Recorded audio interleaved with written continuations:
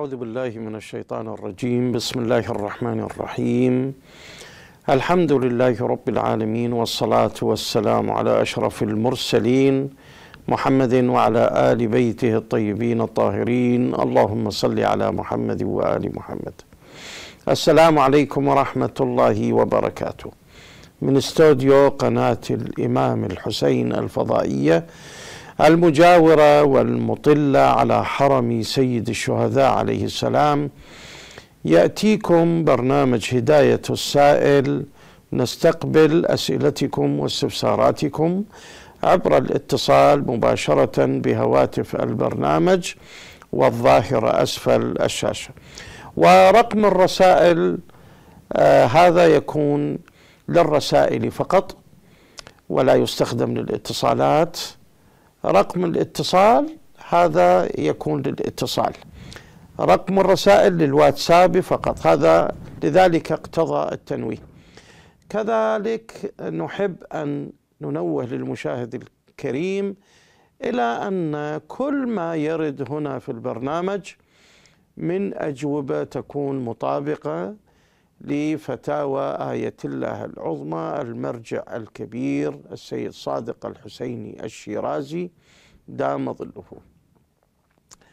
وفي بداية البرنامج نأخذ بعض الأسئلة التي استحضرناها لأجل أن تبث على الهواء مباشرة. من هذا السؤال صاحب السؤال يقول ما تملكه الزوجة من أموال وذهب وعقارات بعد وفاتها. بلي.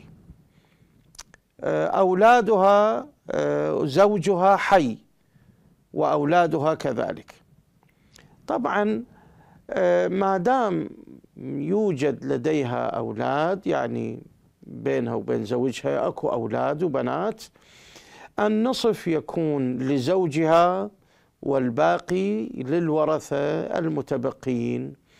طبعا الورثة هنا الطبقة الأولى بالنسبة للمتوفية هم أبوها وأمها وأولادها الذكور والإناث. ذول الطبقة الأولى. الزوج يرث مع هذه الطبقة أو الطبقة التي تليها اللي هي طبقة الأخوة والأخوات. ويرث أيضا مع الطبقة اللي بعدها الأعمام والأخوال. وكل الطبقات حقيقة الزوج والزوجة له حصة مستقلة معروفة اللي هي للزوج إما النصف وإما الربع والزوجه إما الثمن وإما الربع.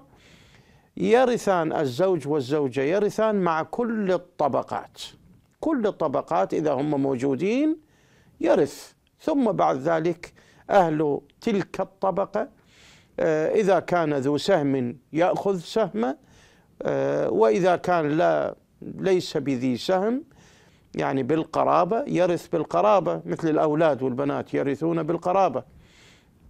مثلا أو البنت الواحدة لها سهم أو البنتين اثنين لها سهم والمتبقي من التركة يرجع إليها بالقرابة يعني ترث بالسهم وترث بالقرابة. هناك من يرث بالسهم ويرث بالقرابة وهناك من يرث بالسهم فقط مثل الزوج والزوجة يرثان بالسهام فقط يعني حصة حصة معينة. حينما يقول يقال مثلا للزوجة ثمن يعني هي هاي حصتها بعد أكثر من هذا ماكو.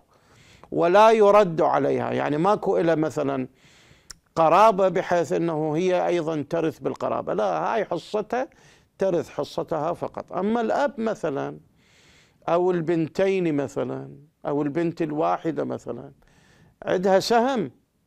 وتأخذ السهم اللي اللي يخصها. لكن إذا ماكو وراث آخرين المتبقي يرد عليها بالقرابة. وهكذا. والمسألة في الإرث هذه تفرعاتها طويلة عريضة ويحتاج لها إلى تفصيل يعني جدا واسع وكبير. وليس الآن محل تلك التوسعة نجيب فقط على محور السؤال. السؤال آه، إذا كان زوجة أو امرأة توفيت والموجود زوج والأولاد نعم ذولا أهل طبقة واحدة اللي هم الأولاد ماكو وياهم أحد يعني فقط إذا كان متواجد الأب والأم يروح وياهم ويا الأولاد ذولا أهل طبقة واحدة والزوج يرث مع كل الطبقات فيرث معهم. وله حصة اللي هي حصته النصف والبقية من التركة تذهب إلى الورثة.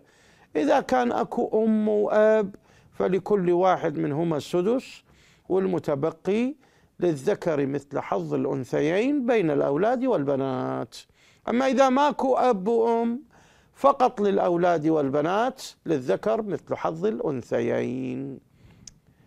سؤال آخر أيضا من أحد المشاهدين يقول لو كان الوشم أو النقش اسم الجلالة ونحوه من أسماء الله تعالى أو آية من آيات القرآن الكريم ولا يمكن محوه أو كان فيه حرج أو ضرر فكيف يتوضأ أو يغتسل؟ طبعا آه، إذا كان الوشم أو النقش لا يمكن محوه أو يكون مستلزما للحرج أو الضرر فيحرم إمرار اليد عليه حال الوضوء أو الغسل. نعم. يلقي بالماء مثلا على هذا العضو مثلا خلينا نقول اليد. فإذا كان الوشم على اليد يحرم إمرار اليد عليها وإنما يوضع يعني الماء يلقى عليها إلقاء يمر عليها آه، الماء. آه، نعم يحرم إمرار اليد عليه حال الوضوء أو الغسل بل يجب إجراء الماء عليه من غير مس بلي. آه، أو الغسل ارتماسا. يعني هذا حل آخر أن يغتسل ارتماسا. والارتماس يعني آه، كل جسمه المكلف سواء مثلا آه، عليه غسل أو عليها غسل. واجب. يعني حوض من الماء أكثر من كر. ويعني يحاول أن يلقي بنفسه في هذا الحوض اللي هو أكثر من كر بحيث أنه آه، يغطي الماء كافة الجسم آه، غطسة واحدة. ليس أكثر من ذلك. بلي. وأكو هناك طريقة أخرى. إذا لابد وأن يمرر اليد على العضو اللي موجود بلفظ الجلالة أو غيرها آه، أن يلف خرقة على يده ويمس بالخرقة مو مباشرة آه، بإيده. هذا بالنسبة لسؤال بلي سؤال الوشم. سؤال آخر أيضا من أحد المشاهدين يقول إذا كان في ثوب بول وغسلناه بماء كثير يعني يقصد كر وأكثر من الكر. هل يحكم على آه، بلي غسالته أنها الغسالة المقصود به يعني الماء المتبقي من غسل الثوب. يعني لنقل مثلا في طشت. فغسل الثوب هو يعني بدون مواد غسل صابون أو مثلا زاهي أو غيرها من دون هذه المواد ماء فقط اللي هو ماء قراح يعني ماء آه، وحسب لا يضاف فوقها شيء معين. وإجا غسل الثوب مثلا بهذا الماء. طبعا لنقل مثلا آه، ماء أقل من كر أو كما هو يقول أكثر من كر. خلينا نقول مثلا حوض من الماء ودخل بهذا الثوب الذي فيه نجاسة البول وحرك قليلا يمين ويسار وطلع. الآن يقول هنا هل يحكم على غسالته يعني الماء المتبقي أنها نجسة؟ الجواب لا يحكم على الغسالة. هناك في مفروض السؤال اللي تفضلت به من أنه نجس بل محكوم آه، بالطهارة. لماذا؟ لأن أنت في مفروض السؤال قلت أنه كر فأكثر وعندنا الكر لا ينجسه شيء إلا إذا تغير بلون النجاسة أو رائحة النجاسة أو طعم النجاسة. يعني صفات الماء تغيرت. إذا تغيرت صفات الماء نحكم بعد ذلك بالنجاسة. أما إذا لا لم تتغير صفات الماء. الماء باقي على صفاته. يعني لا لون ولا طعم ولا رائحة اللي هي صفات الماء المعروفة. تمام؟ باقية على حالها ماء ماء. حينئذ نحكم بالطهارة لأنه كر فأكثر أما إذا كان كرا فأقل. وعندنا ثوب أصابه بول. هذا بس نغططه مثلا في هذا الحوض الذي هو أقل من كر. نحكم على الكر هذا أو اللي أقل من كر نحكم عليه بالنجاسة. لماذا؟ لأنه ينجس بالملاقات. بمجرد الملاقات ينجس هذا اللي أقل من الكر. أما الأكثر من الكر لا لا ينجس بمجرد الملاقات. إلا إذا تغيرت أوصاف الماء بحيث تغيرت إلى أوصاف النجاسة لونا ورائحة وطعما. زين. الآن في هذا الوقت من البرنامج نأخذ أسئلة المشاهدين الكرام التي تردنا عبر الرسائل الواتساب ناخذ أول واحد. طبعا أيضا ما ذاكر الاسم. يقول أني أقرأ ختم قرآن كل سنة بشهر رمضان خمسة أو أربع مرات أربع أو خمس مرات. ولكن لا أعرف أصدق الختمة للميت. بلي ما أعرف شنو معنى أصدق الختمة للميت هذه. أنطي فلوس إلى بلي ملا يصدق الختمات الختمات. بلي قالوا لي أنت تقدرين تهدين الختمة مثل ما تهدين الفاتحة للميت. من الصح؟ طبعا هو هذا الثاني. نعم تقدرين أنت تقولين. آه ثواب ما قرأته من القرآن إلى روح فلان ابن فلان. والأفضل كما يقول السيد المرجع حفظه الله سيد صادق الحسين الشيرازي إنه في مثل هكذا أحوال. يستحب أنه الإنسان يعمم الثواب. كل ما يكون الثواب عاما يكون أفضل ويصل إلى الميت. كل واحد من اللي يعني اهديتي لهم الثواب خصوصا إذا قدمت أحد الأئمة عليهم الصلاة والسلام في الثواب. ثم بعد ذلك قلت إلى شيعة أمير المؤمنين كافة. وبالخصوص مثلا الميت فلان ابن فلان هذا كافي. هذا يكفي إن شاء الله. نعم. آه عندنا أيضا آه رياض أو آه نعم رياض أبو محمد أو هكذا اسمه آه يقول عندي سؤال حول الميراث. جدي اشترى لي بيت من أخوه بفلوس ذهب والدتي وعمتي.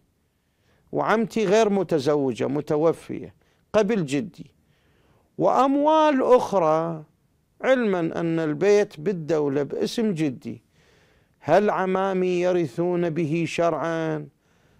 الحمد لله أنه اختمت سؤالك بكلمة شرعا لأنه قانونا نعم يرثون لأن لما واحد يروح للمحكمة يطلع قسام شرعي الجدك قسام شرعي بها كل عمامك ووالدك.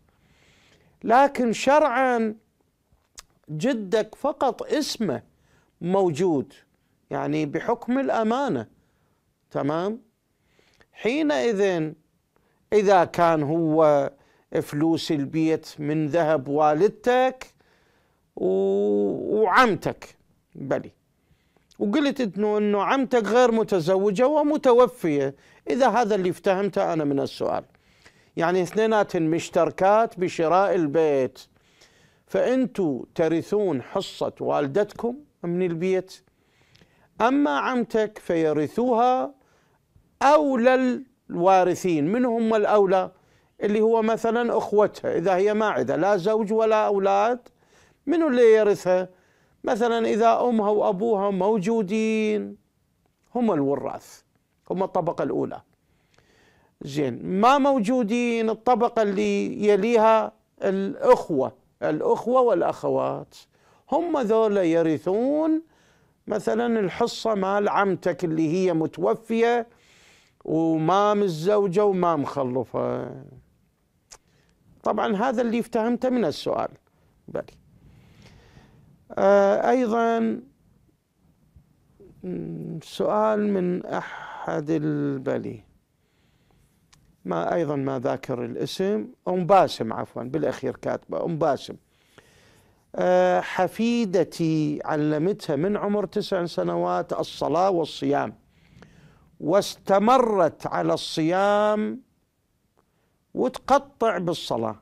الآن أصبح عمرها 18 سنة وتقول من أصلي صلاة التوبة؟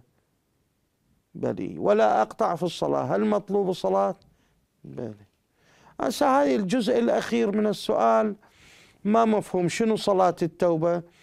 وتقول من أصلي صلاة التوبة يعني صلاة أنه الآن تبدي بالصلاة وبعد ما تقطع التوبة هيك المقصود؟ أو أنه صلي ركعتين لله سبحانه وتعالى قربة لله مستحب أنه وبنية التوبة عن التقطيع. نعم لا بأس بذلك. آه، هل مطلوبة الصلاة السابقة؟ نعم مطلوبة الصلاة السابقة. اللي تركتها اللي فاتت مطلوبة وتقضيهن ذن الصلوات. زين. ناخذ أيضا آه، إذا أنا أصلي والتلفزيون واج عادي طبعا تلفزيون إذا كان مفتوح الإنسان خو مو يصلي مباشرة إلى التلفزيون. لابد وأنه لابد أن يكون هناك حائل على الأقل أو في مكان آخر. والصوت مال التلفزيون لابد يكون مكتوم لأن الصلاة لابد أن يكون فيها توجه انقطاع وتوجه. هسه إحنا ما نوصل مثلا يعني أهنا وحتى اللي سائل السؤال أو سائل السؤال كان رجل أو امرأة هو ما يوصل إلى حالة الانقطاع التام لما يوصل بالصلاة. المهم أو المفروض به أنه يبعد كل الملهيات عنا حينما يريد أن يصلي يتوجه في الصلاة يبعد هذه الملهيات عنا تلفزيون غير تلفزيون كذا ويحاول أن ينعزل في مكان ويؤدي صلاته بخشوع وتوجه وانقطاع لله سبحانه وتعالى. هذا هو المطلوب. أما أنه تلفزيون مثلا شغال وفوق هذا مثلا واحد يصلي ويخلي التلفزيون مثلا في قبلته أو على الأقل على الجانب مثلا. هذه ملهيات. تخرج المصلي عن حالة الانقطاع وحالة الخشوع لله سبحانه وتعالى. زين. أيضا آه بلي. خادمة أم البنين هكذا مكتوب على الواتساب تقول عند غسل الجنابة أشك وأغسل أكثر من ثلاث مرات. أول مرة واحدة تكفي خصوصا إذا كان ماء جاري أو دوش مثلا. فإذا غسلت الرأس والرقبة والجانب الأيمن ثم الجانب الأيسر كافي مع التخليل طبعا حتى يصل الماء إلى كل أجزاء الجسم. هذا كافي. الش... المفروض أنه ما يوصل الأمر إلى أن تصلي إلى يعني الشك المفرط نعم إذا شكيتي مكان ما ما لاح الماء للاحتياط واحد مثلا يوصل الماء إلى المكان اللي ما وصل إلى الماء وهكذا. أما الشكين بالغسل وتعيديه مرة لوخ وتعيديه مرة لوخ هذا حتى لا يصل إلى مرحلة كثير الشك الواحد. أنه يعمل المسألة مرة واحدة ويمضي. سؤال آخر عندها تقول عند غسل ملابسي أشك في الشطف.